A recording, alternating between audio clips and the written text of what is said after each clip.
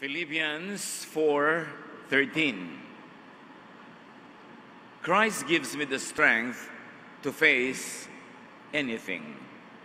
Other versions say I can do all things through him who gives me strength. What to do with your personal weaknesses? Maraming kahinaan ng tao o maraming ginuguni-guni na kahinaan, ano ang marapat gawin dito? Panginoon, salamat po dahil kayo ang aming lakas. Salamat sa inyong paglilinis. Salamat sa inyong liwanag. Ngayon, Panginoon, humihingi kami ng inyong pagpapala, karunungan, kaliwanagan. Buksan niyo ang aming isip at puso. Maunawa ang maraming bagay na kuminsan ay nagpapabigat sa aming buhay na dapat naman sana ay hindi. Teach us. Be our preacher, our teacher, and healer. We seek you, Father, in the name of your Son, Jesus our Lord and our friend. What to do with your personal weakness? Know and acknowledge your weakness. Kilalanin, alamin at tanggapin ang mga kahinaan. Romans 7:18 I know that my selfish desires won't let me do anything that is good. Even when I want to do right, I cannot. Yan ang sinasabi ni Pablo, kahit gusto kong gawin ang tama, hindi ko nagagawa. Kahit anong mabuting gawin ko, hindi yun ang aking laging nagagawa. Kinikilala ang kahinaan, kinikilala maging ang pagkakamali. 2 Corinthians 11, 27 to 29, I have worked and struggled and spent many sleepless nights. I have gone hungry and thirsty and often had nothing to eat. I have been cold from not having enough clothes to keep me warm. Besides everything else, each day I am burdened down, worrying about all the churches. When others are weak, I am weak too. When others are tricked into sin, I get angry. So Paul speaks here, acknowledging his weaknesses, his shortcomings, and his very weak human nature, in spite of his great calling and great office. Strengthen your weakness with training and practice. Matapos sa ating makilala, masuri, maihayag ang ating mga kahinaan, ito'y palakasin sa mamamagitan ng pagsasanay. Pagsasanay, maging ang mga athletes, lumalakas sa pagsasanay. Ang mahina ay lumalakas at yung malakas ay lalong lumalakas kung nagsasanay. Spiritual practice. 1 Corinthians 9:7 I keep my body under control and make it my slave. That is physical practice, which is a metaphor also for spiritual practice. Sinasanay natin ang ating ugali. Sinasanay ang asal. Sinasanay ang kilos para maitama ang mali, maituwid ang liko, at mapaganda ang hindi maganda. 1 Timothy 4.8 Exercise is good for your body, but religion helps you in every way. It promises life now and forever. So here, yung dalawang uri ng exercise ay pinapakita, physical exercise and spiritual exercise through the practice of correct religion. Makikita natin na laging kailangan ng pagsasanay sa anumang larangan ng buhay. What to do with your personal weakness? Strengthen your weakness with supplementation from other people. May mga kahinaan tayo na talagang kahinaan natin kahit anong pagsasanay at practice ang gawin mo, kahinaan siya talaga.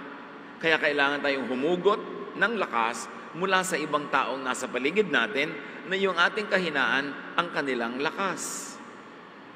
Kaya maganda na ang mag-asawa, magkaiba ng mga strengths, magkakaiba rin ng weaknesses, at hindi mo pipilitin yung strength mo ay maging strength niya, kundi yung strength mo ang ibibigay mo sa kanya at yung weakness mo ay pupunan niya ng kanyang sariling strength. Hindi kailangan magkamukha kayo para kayo magkasundo, mas magkaiba, mas tugma, kasi magkakatulungan kayo sa mga kahinaan. Kung meron tayong kapatid na napakagaling sa isang larangan ng buhay, siya ang ating aasahan, At sa ibang larangan naman, aasa siya sa atin. This is the very concept of the church. Iba-ibang gifts, iba-ibang kakayanan, iba-ibang karunungan, iba-ibang mga katangian, pinagsasama-sama para magkatulong-tulungan. Hindi mo pipilit yung galing mo na makita mo sa iba. Hindi mo ipipilit na yung husay mo ay maging husay ng iba kasi kaya ka nga nandyan at mahusay sa kanyang bagay para matakpan, matulungan, masuportahan yung hina ng iba at yung hina mo naman ay susuportahan ng galing nila. God is not a God of sameness, but God of variety. And in our unity, we find completion through the ministrations of each other and to each other. Kailangan natin ang isa't isa. Ecclesiastes 4.9 You are better having a friend than to be all alone because then you will get more enjoyment out of what you earn.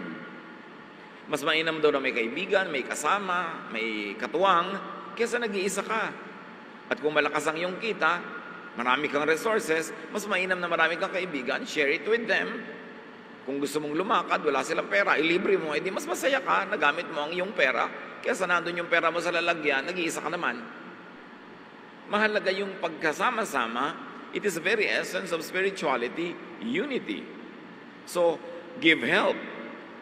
And that is strengthening others and also yourself. What is so miraculous about helping others is that it also helps us. Pag tayo matulungin sa iba, natutulungan din natin sarili. Pag nagpapasaya tayo ng iba, sumasaya din tayo. Pag nagbibigay tayo, napapayaman din tayo ng pagbibigay na yun. Kaya napakahalagang exercise yung pagtulong sa kapwa. At kung ano, yung, ano ang iyong galing, yun na ibigay mo sa iyong kapwa. Kaya sa isang pamilya, kung minsan ay napakagaling mong kumita, marami kang kita, yun ang role mo, financial support sa mga kulang ang finances, pero yung kulang ang finances, may ibang galing din yan. Kailangan i-contribute din nila yung galing nila sa pamilya, hindi tagatanggap lang sila ng pera. So kung meron isang member ng family na na-hospital, nagkakasakit, merong nagsusuporta dyan sa pera kasi mas marami siyang pera, yung iba naman, ang suporta nila, warm body. Sila yung nag-aalaga, sila yung nag-iintindi, sila yung bili dito, lakad doon, takbo dito. Yun ang kontribusyon nila. Kanya-kanyang kontribusyon sa pag-aalagaan ng mga mahal natin sa buhay. 1 Corinthians 12.7 Now to each one, the manifestation of the Spirit is given for the common good. Bawat isa sa church, merong spiritual gift. Ibinigay yun sa kanya ng Diyos para sa ikabubuti ng buong kapatiran, hindi lang sa kanyang sarili. Kaya kahit sa church, meron talaga na gifted with a lot of money, so sila yung mas maraming ibinibigay na financial support sa needs. Yun namang mga hindi masyadong gifted with a lot of money, they are gifted with time, with energy, with effort. So sila naman to ngayong laging nandoon, nagtatrabaho, kumikilos, habang yung kapatid nila na nagdo-donate ay busy gumagawa ng pera sa pagnenegosyo. Nagkakatulong-tulungan. Kanya-kanyang papel sa buhay. Yung magaling kumanta, kailangan kumanta para yung mga taong hindi ganong kagalingan, ma-edify sa kanyang music.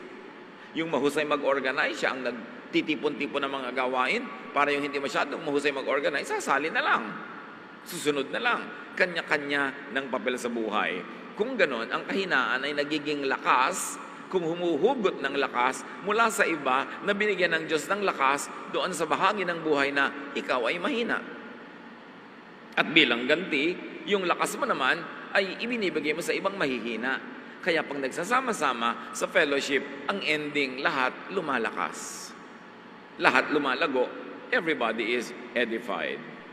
1 Corinthians 14:12 So with yourselves, since you are eager for spiritual gifts, strive to excel in them for building up the church. Ano man ang galing mo, ano man ang husay mo, total gusto mo maging mahusay, gusto mo maging outstanding, magpakahusay-husay ka para sa ikabubuti ng kapatiran, hindi lang ng iyong sarili. Sapagkat ang tunay mong pamilya ay ang pamilya ng Diyos kung saan ang pinuno ay si Jesus mismo. So what to do with your personal weaknesses? Strengthen your weakness with supplementation from God, from Jesus, from the Father and from the Son. Philippians 4:13 Christ gives me the strength to face anything. Walang mananampalataya na mahina. Sapagat ang tunay na pananalig ay ito, yung hina mo, iniaasa mo kay Kristo, at ang lakas ni Kristo ay nagiging lakas mo. This is the strength to change, kung dapat mag-improve, or the strength to accept what can't and shouldn't be changed. Dapat malinaw dito mga kapatid. May mga kahinaan tayo na dahil sa ating pananalig at pagsunod kay Jesus ay napalalakas. Pero may mga kahinaan tayo na dahil sa pananalig natin kay Jesus ay di na pinipilit palakasin kundi iniaasa sa pag-ibig, pagpapatawad at walang patakarang pagtanggap ni Jesus. Dapat malinaw yon. Hindi ka pumupunta kay Jesus para lang baguhin ka niya kundi pumupunta ka kay Jesus para tanggapin niya ng walang patakaran. Yun ang tunay na pag-ibig ng Diyos. Marami kasi, merong paniniwala that you join religion to be changed. Well, in practice and in history, that has been the case. Religion has become a reformatory institution. But true spirituality is God accepting you not God changing you. It is religion who changes people. It is religion who wants to change people so that the people could be controlled, so that behavior could be managed and engineered.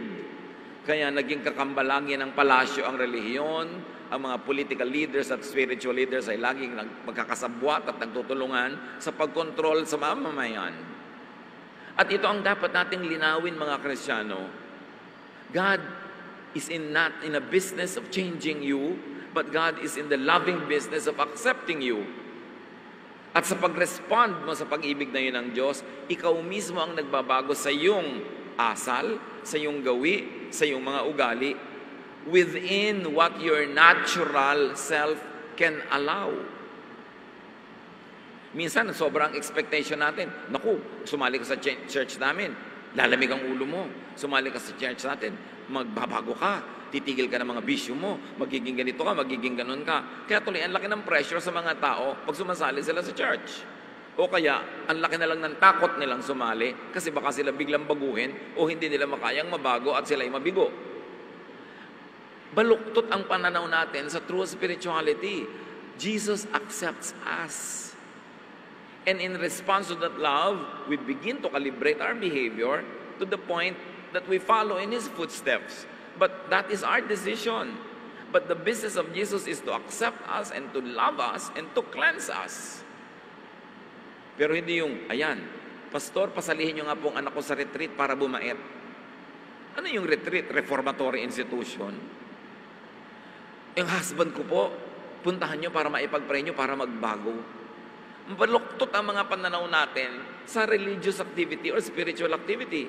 Dinadala natin ang mga mahal natin sa buhay sa Diyos para makatanggap sila ng walang patakarang pagtanggap at pagmamahal, pagpapatawad, pag-ibig ng Diyos. Hindi para biglan sila ng pressure na magbago.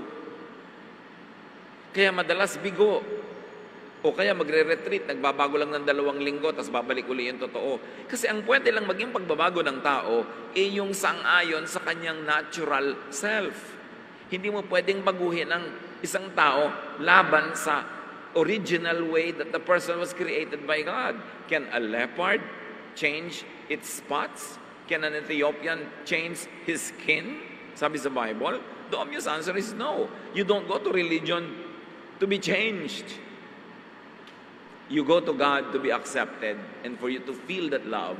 And in response to that love, you begin to fine tune to calibrate, to improve your behavior within your nature. But religious activity or membership cannot change your nature. Because yung nature mo, Diyos ang gumawa nun. Dapat malinaw yon para hindi sobrang pressure sa atin when we become a member of a spiritual community at hindi rin sobrang pressure na ibinibigay natin sa iba. O ano, tatlong taong ka nang nagba-Bible study, takot ka pa rin sa dilim. We expect people to change overnight just because nagbukas ng Bible, just because umattend ng church. O ano, Sunday school ka ng Sunday school dyan, malululain ka pa rin, may phobia-phobia ka pa rin, natatakot ka pa rin. Tuloy sobrang pressure ang binibigay natin sa kapwa at marami napipilitang magpanggap para lang magmukhang, oo nga, nagbago na sila. Tapos pag lumabas yung totoo nila uli, machichismis, nagbabackslide, nagbabackslide. Kaya napaka-oppressive kasama ang mga baluktot ang mga pananalig. Ang hirap nilang kasama kasi hindi nila naiintindihan na ang Diyos ay nagpapatawad, hindi nagbabago ng tao. Kasi kung ang Diyos ang nagbabago ng tao, eh di Diyos dapat ang managot sa lahat ng hindi nagbago. Kasi siya pala ang nagbabago ng tao, eh di lahat ng hindi nagbago, siya ang may gawa. No, God accepts and love us. Warts, wounds, scars, and all. That is the love of God through Jesus that even Christians do not understand. Sobra tayong nagiging legalistic. Oh, member ka na dito, dapat ganito ka na, dapat ganun ka na, dapat ganun ka na. Puro mga panlabas at mga behavioral changes ang inaatupag natin, samantalang ang business ng Diyos ay mag-heal, magpagaling sa pamamagitan ng pagtanggap, pag-ibig, pagpapatawad. Pati si Pablo, na napakalaki ng ministry, maraming mga hindi na bago sa kanya. 2 Corinthians 12, 6 to 9, even if I should choose to boast, I would not be a fool because I would be speaking the truth. But I refrain so no one will think more of me more of me than what is warranted by what I do or say or because of those surpassingly great revelations. Si Pablo, dinala ng Diyos sa ikatatlong langit to the third heaven. Binigyan siya ng mga revelation na hindi nabigay sa mga original 12 apostles. Ang dami-dami niyang nalaman na higit sa nalaman ng mga kasama ni Jesus at susunod-sunod sa kanya sa earthly life ni Jesus. Pero sabi niya, kahit ganitong surpassing ang revelation na binigay sa akin, marami pa rin akong weaknesses. Marami pa rin akong hindi na bago. At yun ay tinatanggap ko na lang. At iniaasa ko na lang yun kay Jesus. So, but therefore, in order to keep me from becoming conceited, I was given a thorn in my flesh, a messenger of Satan, to torment me. Walang lubos na nakaunawa kung ano yung thorn in the flesh. Pero ang sinasabi ni Pablo, meron akong kahinaan, meron akong kapintasan, meron akong pagdurusa na inihalalapit ko sa Diyos na alisin niya, pero hindi niya inalis. Sa kabila ng katotohanan na ako'y pinag, binigyan niya ng great revelation, napakahusay ng ibinigay niya sa aking ministry, pero sabi niya, sa makatuwid, pinanatili ng Diyos itong aking matatawag ng ibang kapintasan o kahinaan para ma-check ang pride ko. Kasi sobrang ibinigay sa akin ng spiritual gift. So binigyan ito ng kapintasan o kahinaan, maging kapintasan sa tingin lang ng iba, para hindi naman ako sobrang yumabang. Para may weakness pa rin ako. Para ako'y laging umaasa sa Diyos. Sabi niya, three times, I pleaded with the Lord to take it away from me. But he said to me, My grace is sufficient for you, for my power is made perfect in weakness. Therefore, I will boast all the more gladly about my weaknesses, so that Christ's power may rest on me. Ang linaw. Sabi niya, napakadakila ng ministry ibinigay sa akin, ang katalinuhan, ang revelation na binigay sa akin, grabe. Pero sa kabila nun, meron namang ibinigay sa akin na kahinaan. At ipinakiusap ko na ito tatlong beses. Pero ang sagot ng Diyos, hayaan mong manatili ang iyong kahinaan para aasa ka pa rin sa akin. Kahit napaka-great ng gift sa iyo, kahit napaka-great ng ministry sa iyo, aasa ka pa rin sa pangunawa, aasa ka pa rin sa kabaitan ng kapwa. Kasi meron kang ang kahinaan o kapintasan. It was part of the package. Hindi yun inalis ng Diyos. So huwag niyong asahan na kung lang kayo ay lumapit kay Jesus, tumanggap kay Jesus, naging member ng isang religious community, ay lahat ng weaknesses ay matatanggal. Meron kang sinasadya ng Diyos na iwan doon para wag kang yumabang, para lalo kang umasa sa Kanya, tulad kay Paul. 2 Corinthians 12.10, Yes, I am glad to be weak, if it is for Christ, because when I am weak, I am strong. Sa inyo, oh, may kahinaan ako. Mayroong kulang, may kapintasan, pero habang iniaasa ko sa Diyos yon, nagiging lakas ko yon. Kasi yun ang nagiging entry point ng Diyos sa buhay ko. Mahirap kasi maging entry point ng Diyos sa atin yung ating strength, lalo't kung napapayabang na tayo, nagiging mapagbataas. Pero yung weakness mo na lagi mong iniaasa sa Diyos, yun ang pinakamadaling entry point ng Diyos into your life. So, don't expect yourself to be strong in every area and don't expect others to be strong in every area because in God's infinite wisdom, He has allowed this thorn in the flesh, not only in Paul, but in many of us. At doon tayo aasa sa kanyang pag-ibig, sa kanyang pagtaguyod, at sa kanyang patuloy na pagmamahal. Then after doing what you could to change or to improve, accept your weakness. Meron tayong weakness, i-identify mo yan. Magpa-practice ka, gagawin mo ang iyong magagawa para yan ay mag-improve, para yan palakasin. Pero kung nagawa mo na yung sagad, nagsikap ka na, nabaguhin ang isang bagay, palakasin ang isang kahinaan, at kahinaan pa rin yun, pwes tanggapin mo na na part yon ng iyong buhay at magiging part yon ng iyong definition of who you are at maaaring maging springboard pa yon for your ministry. 2 Corinthians 12, 7, Of course, I am now referring to the wonderful things I saw. Out of Satan's angels, one of Satan's angels was sent to make me suffer terribly so that I would not feel too proud. Another version saying the same thing, sabi ni Pablo, Naku, may kahinaan pa rin ako talaga. At yun ay tatanggapin ko na. At maaaring yan ang maging sanhi para hindi naman ako maging mayabang. So maging mga dakilang mga alagad ng Diyos, may mga thorn in the flesh. May kahinaan. At kung gusto bang alisin yun ng Diyos, hindi ba niya maalis? Pero kung nandun pa rin yun, kalooban ng Panginoon. Ito ang isa nating dapat maintindihan at matanggap. Na may mga weaknesses ang tao na hindi Diyos ang mag-aalis sapagkat siya ang pumayag na nandun yun. Mahiwaga ang paraan ng pag-isip ng Diyos at hindi natin siya dapat itulad sa ating mga tao. Na kung tayo lang ang Diyos, babaguhin natin ang lahat ng tao. Pero hindi ganun ang ginagawa ng Diyos at mas malinaw yon, mas luluwag sa ating dibdib na tanggapin ang ating mga sarili at ang ating kapwa. So accept yourself as God created you matapos mong sikapin na improve ang sarili, pero kung hanggang doon at hanggang doon lang talaga ang nangyayari, accept yourself. Accept your natural self. And this is what it means to have the peace of Jesus. Habang nakikipagtunggali ka sa iyong sarili, habang nire-reject mo ang iyong sarili at ang iyong kapwa, hindi ka magkakaroon ng kapayapaan. Laging hati ang iyong loob at laging meron kang agam-agam pero ang sabi ni Lord, My peace I give to you, not as the world gives, do I give. Ganon. Do not be afraid. Do not let your heart be troubled. I have overcome the world. So yung mga kahinaan natin, yun ay charge to Jesus. Yun ang ibig sabihin na meron tayong tagapagligtas. Hindi tayo ang nagliligtas sa ating sarili. So, real Christian spirituality is not a reformatory institution. It is acceptance because of love, because of the love of God. Ang tunay na paglapit sa Diyos ay hindi yung babaguhin mo yung sarili to the point na pasado ka na sa standard ng Diyos.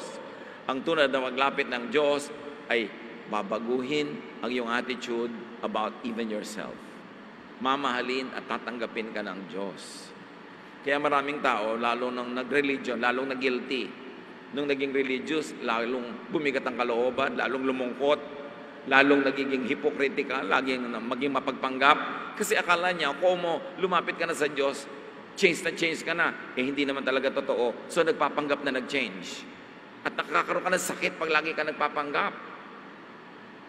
You don't change the brothers and the sisters. You accept and love them. And that love is what will inspire them to become the better versions of their own selves not to be the copy of another person, but to be the better version, the best version of their own natural selves. Dapat kung tayo yung mga kapatid sa Panginoon, pag nandyan tayo, yung mga tao are at ease to be true, to be real, to be themselves. Hindi yung pag nandyan ka, nagpapanggap sila, nagbabanal-banalan dahil baka hindi sila pumasa sa yung pihikang mga standards. Kaya nakakaroon ng kapahingahan ng tao pag tunay niyang natatagpuan ng Diyos, dahil ang natatagpuan niya ay ang pag-ibig at pagtanggap ng Diyos na maging ng mga kapatiran. Ang mga kapatiran sa church, hindi ka dapat parang pulis na laging nag iimbestiga nagmamanman sa kabanalan ng iyong kapwa. At pagkatapos pag-uusapan at uhusgahan yung mga bumabagsak sa iyong standard. Coming to God is receiving His forgiveness, His unconditional love and acceptance. Not being forced into conforming to certain religious standards. Yun ang religion. Kaya magkaiba dapat yung organized religion sa true spirituality. Because in spirituality, you find freedom. You rest. You relax. Kaya sabi ni Jesus, Come to me and I'll give you rest. Why? Because I will accept you. Because I will love you. And that is the same thing you should give to your brothers and sisters. Rest. Hindi yung binubuli-buli mo, pinipilit-pilit mo na sumunod sa mga kabanalan at guni-guni mo na mga imposibleng mangyari this side of eternity. So accept yourself as God created you, and then you will be free, and then you will find rest, and then you will have peace, and then you will be inspired to love others as well. Psalm 139, 14, I praise you because of the wonderful way you created me. Everything you do is marvelous. Of this, I have no doubt. And everything includes yourself and myself. Ang tunay na espiritualidad, hindi mo pinipilit baguhin ang iyong kapwa, kundi natatanggap mo siya ng may pag-ibig, pangunawa, pagmamahal. At yung pag-ibig na yun ang magbibigay sa kanya ng inspirasyon na ayusin, ituwid ang liko, at magbago ayon sa kaya ng kanyang naturalesa. Pero hindi mo pwedeng baguhin yung nature. Kailangan ipanganak na uli at ulitin ang design. So, God does not change people. Kung may babaguhin ng Diyos, paminsan-minsan, himala. Pero don't expect that. Hindi yung, oh, ayan, sumali ka na sa amin, dapat magbago ka na. Dapat sumali ka na sa amin, therefore tatanggapin ka namin. Yun yun. Hindi baligtad. God accepts and loves people. It is people who change their behavior as much as their nature would allow. It is people who decide to change their lifestyles as a response to stimulus, very especially to the stimulus of love. Kung binabago ng tao ang lifestyle niya, dapat response niya sa pag-ibig ng Diyos, hindi response niya sa takot na madisiplina at matiwalag. Kasi takot lang yon. Walang kwenta yung ginagawa out of fear. So, importante nating isipin yan, when people become spiritual and change, it is usually in response to God's love, not to disciplinary measures of the church. Panglabas lang yon, nagiging papaimbabaw. It is always important. So, live with and live in spite of your weakness. Kung nagawa mo na ang project mo, na-improve ang sarili, ayusin, at hanggang doon lang yon, pues itahimik mo ang iyong puso, live with it. And live in spite of it. At laging ipaalala sa sarili ang Philippians 4.13, I can do all things through Him who strengthens me. Yes, that is my weakness. But because of Christ's love, that also becomes my strength. Because now, in this weakness, I put Jesus, I put His love, I put the love of God the Father, and then that becomes a strength. Not my strength, but the strength of God through Jesus that I enjoy because Jesus is in my heart. And then focus and operate on your strength. Mga kapatid, ang binibigyan natin ng focus sa ating kapatiran ay hindi yung mga kasalanan at kakulangan ng kapwa, kundi ano yung mabuti at maganda sa kanila at yun ang itanghal, yun ang itaas, at yun ang i-celebrate. Philippians 3.13, my friends, I don't feel I have already arrived, but I forget what is behind, and I struggle for what is ahead. Nya, kinakalimutan ko na yung tapos na. Ang sinisikap ko na lang ay yung darating pa. Pagkatapos ang hilig-hilig ng mga Krisyano mag-testimony na uungkatin, bubulat-latin ang lahat ng baho nung nakaraan pa. Bakit pa? It is a Western psychology. Ang mga Western people, mahilig silang bulat-latin yung past para magkaroon sila ng catharsis, para magkaroon sila ng luwag ng dibdib. Kaya ako, Kristiyano na ngayon, ito ang dati kong buhay, ito mga pinaggagawa ko. Hindi bagay sa ating mga Pilipino yung ganoon kasi meron tayong pangingimi na salingin at galawin yung mga ganoong masasela ng mga bagay. Sa pagkopya naman natin sa mga Amerikano, pati yung mga testimony nila, ginagawa natin sa mga churches na pagchichismis ang katuloy pagkatapos. At pagkatapos, pagka napabalik ka sa dati mong buhay, machichismis ka na mag-backslide, kaya hindi tayo mahilig dyan sa mga testimony. Why celebrate and why make a big deal out of what's already past? Charge to the cross, it's finished, sabi ni Paul, yung tapos na, tapos na sa akin yan. Iniiwan ko na yan. Ang inaatupag ko yung darating pa. Napakahalaga na suriin din ang mga pinaggagawa natin sa mga churches. Ito ang aking buhay. Ito ang mga karumihan ko. Ito ang mga pinaggagawa ko. Bakit pag-uusapan pa mga ganon? Mga Amerikano mahilig doon. Pero hindi natin kailangan kopyahin yon. Hindi yun bagay sa kultura ng mga taga-asilangan. Sensitive kasi tayo sa ganun mga bagay. Ephesians 4:28 to 29, sabi niya, Total, nasa Panginoon ka na. If you're a thief, quit, quit stealing. Be honest and work hard so you will have something to give to people in need. Stop all your dirty talk. Say the right thing at the right time and help others by what you say. So ang mga pagbabago dito, behavioral, yung actual things that people do, pero hindi binabago yung kaloob-looban ng kaibuturan ng iyong puso. Kung talagang mahilig ka na kumain ng ganito, hindi kailangang baguhin yon. Kung talagang ikaw ay artistic, hindi kailangan tanggalin yon. Kung hindi ka artistic, hindi kailangang palitan yon. Yung basic nature mo, hindi yun binabago. Ang binabago lang natin yung outward behavior, especially that which affects people in a negative way. So sabi, kung dati ka magnanakaw, tumigil ka na magnakaw. Baliktarin mo yon, magtrabaho kang mabuti, sumobra ang kita mo, tumulong ka sa mga nangangailangan. Dati kang gumagawa ng mga mali, itama mo na para imbes na nasasaktan mo ang kapwa, ay natutulungan mo sila. Pero yung ikaw bilang isang tao, yung kaibuturan na yung kalooban, hindi binabago kasi Diyos ang nagbigay nun. We should know what can be changed and improved, and we should know what should be accepted and even celebrated para magkaroon tayo ng katahimikan sa ating puso. Accept others as God created them. So you don't accept only yourself, but others as well. Ephesians 2.10, God planned for us to do good things and to live as He always wanted us to live. That is why He sent Christ to make us what we are. So pag na-appreciate mo na na nilikha ka ng Diyos, at kung may pinayagan siyang sa tingin ng iba ay weakness, ay nandyan pa, ma-appreciate mo pa rin yun na merong katuturan at kabuluhan yon, din mapapayapa ang iyong loob and you will stop struggling with yourself all the time. John 13, 34 to 35, But I am giving you a new command. You must love each other, just as I have loved you. If you love each other, everyone will know that you are my disciples. Walang sumama kay Jesus na sinabihan niya, Aba, magbago ka muna bago ka sumama sa amin.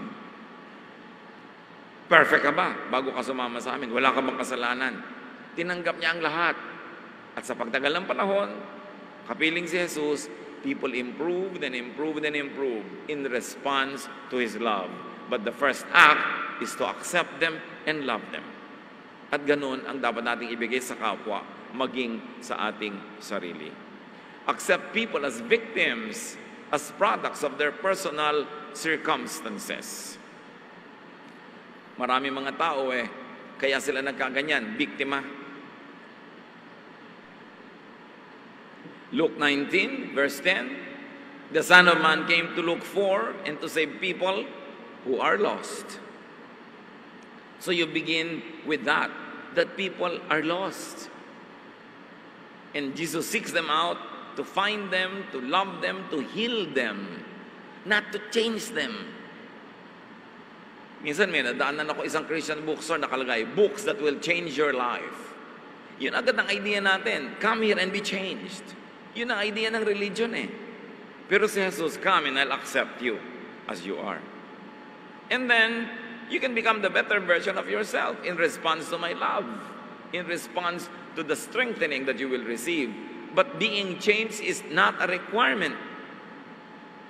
Meron pa nga sobrang mga conservative churches, magpapa-youth camp, yung mga member nila magdadala ng pinsan, kaibigan na youth, tapos nire-reject nila dahil hindi nila gusto yung suot, hindi nila gusto yung kulay ng buhok ng kabataan, hindi nila gusto yung itsura.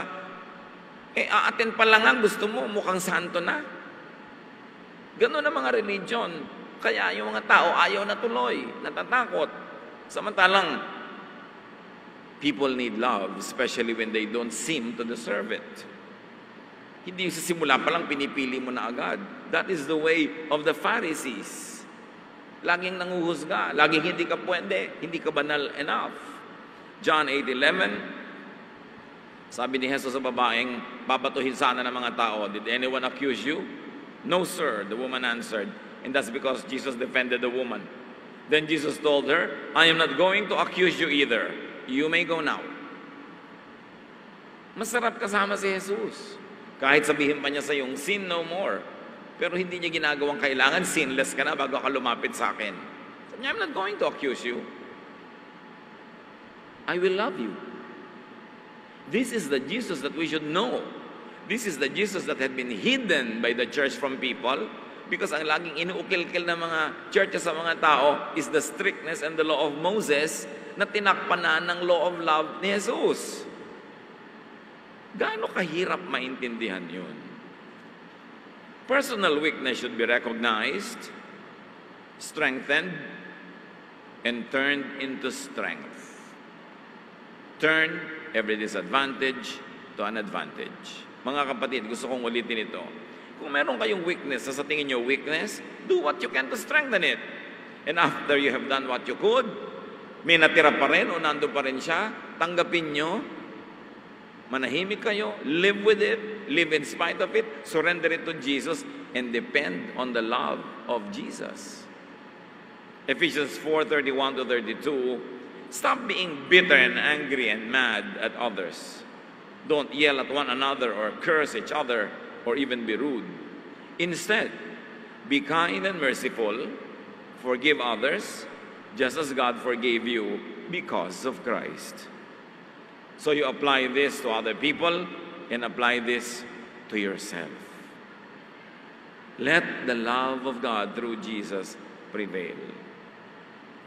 Personal weaknesses should be accepted and lived with after you have done what you could to improve on them. Ecclesiastes 3 11 to 12. And he puts questions in our minds about the past and the future. I know the best thing we can do is to always enjoy life. Do not problematize life. Do not over problematize even your perceived weaknesses. Surrender it to the Lord and it will become a strength. Or surrender it to the love of Jesus and you will find acceptance and you will also find self acceptance. Enjoy life because of your strength. Enjoy life in spite of your weaknesses. God loves you anyway, God loves you anyhow, and this is the peace of Jesus. Dear God, teach us to identify correctly our weaknesses, surrender them to you, get strength from you, O Lord, and improve ourselves. And in areas, O Lord, where our weaknesses remain in spite of what we try to do, teach us to be at peace with ourselves, to accept ourselves and others, and to go on living, focus on our strengths instead, and focus on the strength of others also. Patawarin mo kami, Panginoon, kung kami nagiging mapanghusga sa kapwa, maging sa aming mga sarili. Turuan mo kaming umasa, manalig sa inyong pag-ibig, sa inyong pagtanggap. At itong pag-ibig at pagtanggap na ito, ang siya rin naming magamit na pamantayan sa pakikipagkapwa, sa pakikitungo sa aming mga kapwa-tao. Turuan mo kami, Panginoon, na mapanatag ang loob, na matapos sa aming pagsisikap to keep improving, matanggap namin yung mga areas that will remain what is called a weakness. And that is where we depend on you, on your forgiveness, on your love, on your care, and on your support. Father, teach us to be restful, to be peaceful about ourselves and others. Pagbulay-bulayan natin ang kahulugan nito sa ating buhay, mga kapatid, find very practical applications in your very own life how you can find rest in spite of personal weaknesses. Lord, as your people remain silent before you, finish this message personally for each one. Speak to us. We thank you in the name of your Son, Jesus. Let's be alone with the Lord in silent reflection.